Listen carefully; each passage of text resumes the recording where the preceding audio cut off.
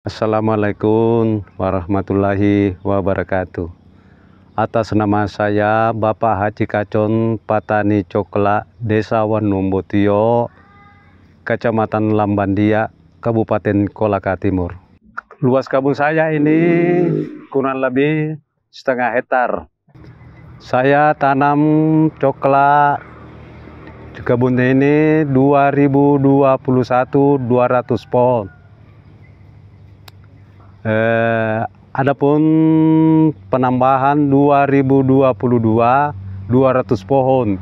Jumlah coklat tanam saya di sini kurang lebih 400 pohon. Jangka pendek di kebun ini saya tanam tomat, lombok, terun dengan buncis. Habis baru-baru ini baru saya panen, baru dibersihkan mau ditanam ulang lagi. Jangka panjang ini saya tanam di sini kelapa, pete, durian, pisang, manggis, rambutan, lansa, duku, jeruk.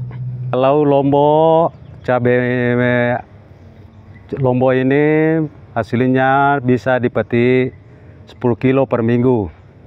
Kalau papaya itu dalam satu minggu bisa dapat 200 ribu atau 300 ribu per minggu.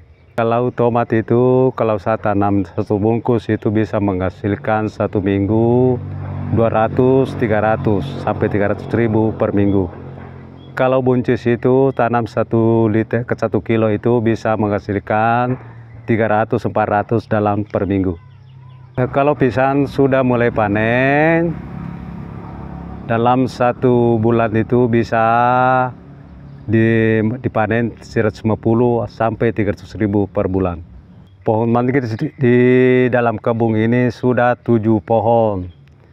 Menghasilkan itu kalau panen bisa menghasilkan satu pohon 50 kg. Peteku di sini bu sudah dua pohon. Kalau panen sekali satu tahun berbuah setiap per pohon itu bisa menghasilkan 700-800 ribu per pohon. Tanaman durian di sini sekitar kurang lebih 50 pohon. Baru tahun ini belajar berbuah. Nuku buhe mata neka tanah-tanah jangka pendek untuk kelanjutan na ero asosota yang reto tanah na lambace, tanah na lombo, tanah na papaya, tanah na buncis, untuk penyambung karena sekolah meta watuna tak tahu dua, dua tahun tak lutan apa bekas sele jadi tanangi bangsa uti jangka pendek. Tanah-tanah apa ke tanangi supaya jangka penyambung hidup